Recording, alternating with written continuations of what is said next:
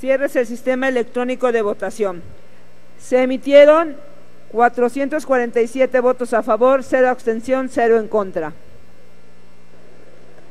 Aprobado en lo general y en lo particular los artículos no reservados por 447 votos.